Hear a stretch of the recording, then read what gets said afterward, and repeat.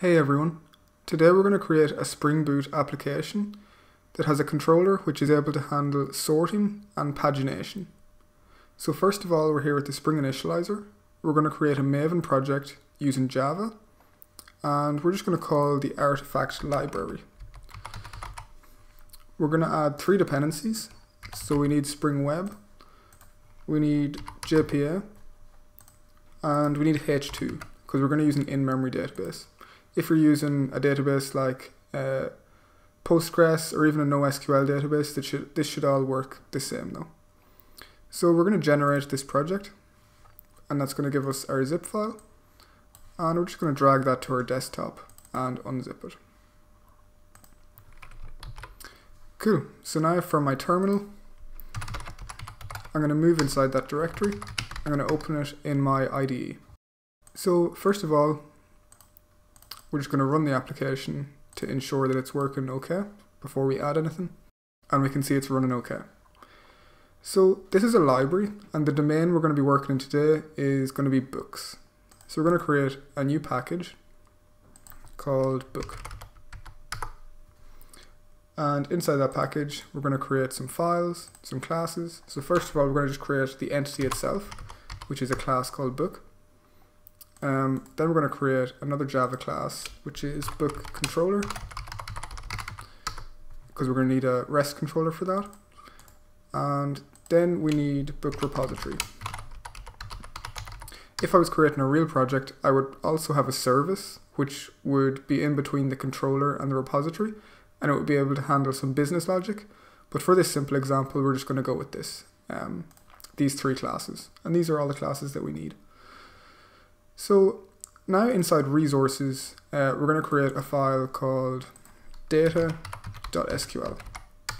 And this file is going to be used to seed our in-memory database with some data whenever it starts up. So this is going to be useful. We're not going to need to create the data once the application starts. It's going to be there in our database um, anytime it starts up. So let's start off defining the entity, because then we'll be able to insert some data using this data.sql file. So first of all, for this book, we're going to have to annotate it with the entity annotation. And now we need some fields. So first of all, we're going to have a field which is private long ID. And this is just our identifier. And we're going to tag this with ID. And we're going to use a generated value for this. So this is going to be automatically generated for us.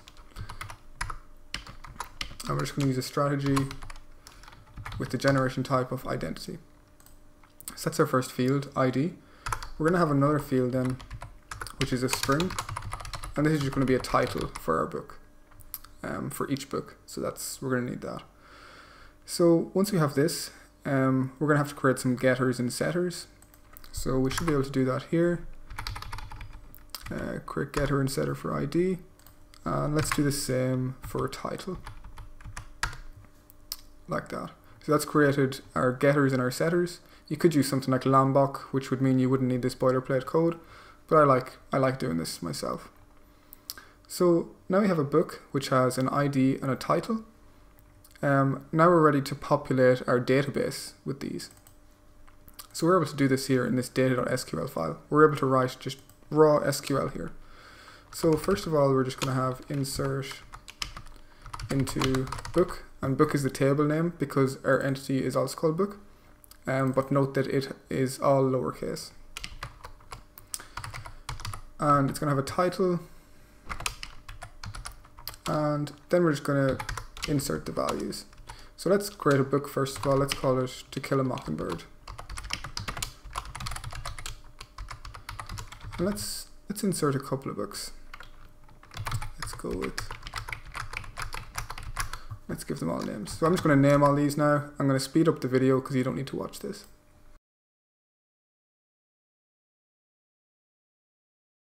So I've just inserted seven different books here. Um, and note that I haven't put them in alphabetical order or anything. For example, the last book is Alice's Adventures in Wonderland. And I did this purposely just to so show how this sorting works. Um, so we'll be able to see that because these are in not non-alphabetical non-alphabetical order or anything. Um, So now let's go with our repository. Um, so this is going to be, first of all, it's not going to be a class, it's going to be an interface, book repository, and it's going to extend JPA repository.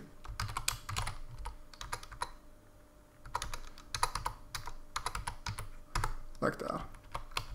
Um, and inside here, we know we're going to have a book, and it has an ID of type long. So this is our book repository. And we're not going to need to add any of our own methods here because we're just going to be using the find all that's given to us by default um, from this interface. We also need to annotate this with repository. And that's a repository finished. So the last thing we need to do is our controller.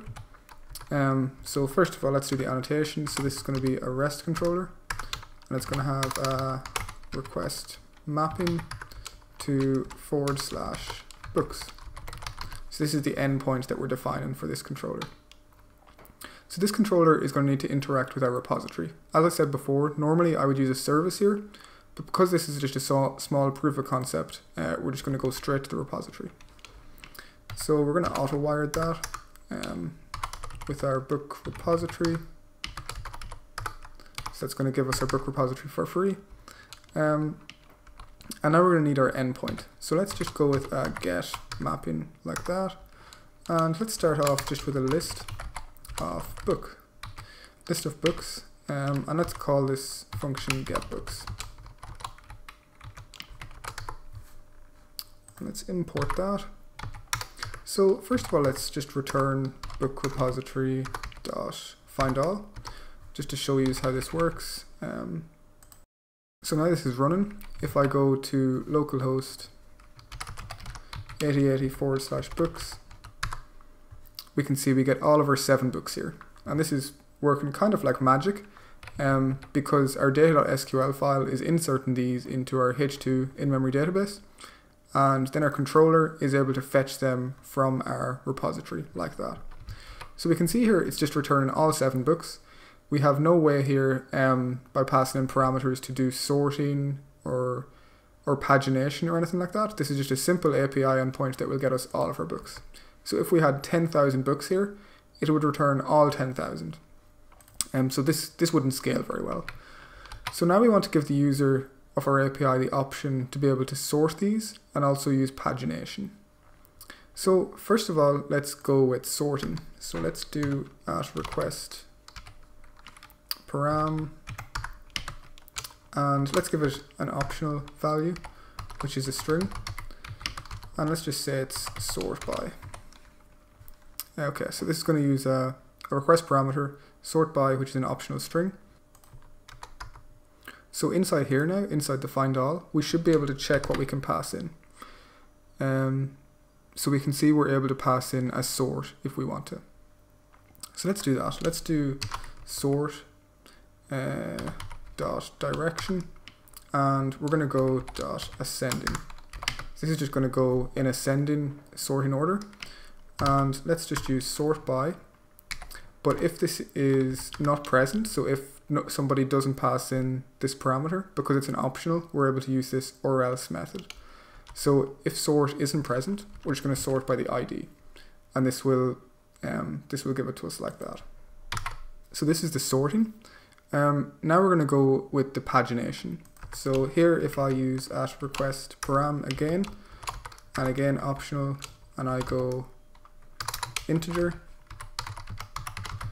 and this is called page, then we're going to be able to use the page inside the find all as well. So let's just put this in its own line, and let's say page dot or else zero so this is just saying if they don't pass in the page value, just use the page of, of 0.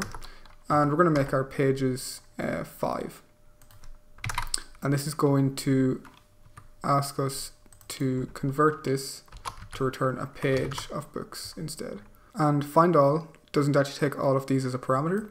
Instead, it takes a page request. So we just need to pass in page request and we want to give page request these parameters instead and we're using the dot off method on that.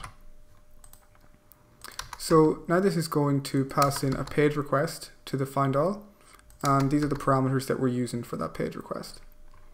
So if you can remember, we used a page and a sort by. Uh, if we start this again, we should be able to use these request parameters. So first of all, let's just see the default behavior of our API. So if we just go to localhost 8080 forward slash books, it's going to return a bunch of other things now. So we can see this, we're getting this pageable back as well. And this is because our API endpoint is no longer returning just a list of books. It's returning a page um, of books. So we can see that we get all this, this extra stuff as well. And we get information which is quite useful like the total elements, which is seven. We can see we're only getting five back here because we've defined our page size as five. And because we haven't passed in a page value here as a request parameter, it's defaulting the page to zero. So we're getting the first five back. And as we can see, these aren't sorted or anything. Um, okay, so now we want to pass in the sort by, and we want to sort by the title. So now we can see it's no it's no longer sorting by the ID because we're actually getting the the one with the ID of seven back first, and that's because it begins with an A. So this is sorting them in alphabetical order, which is useful. And we can see the IDs here are, are kind of in reverse order almost. So that's cool, that's this sort by. And now we want to try the page as well. And by default we're getting page 0, so let's just see if we do page 0 we're going to get that as well. But if we want to look at page 1, we can pass in the page as 1 as a request parameter. And we can see then we get the final 2 that we weren't getting before because there was 7 altogether. So this is a simple example of how to use pagination and sorting uh, in your API with Spring Boot. So thanks for watching and I hope you enjoyed.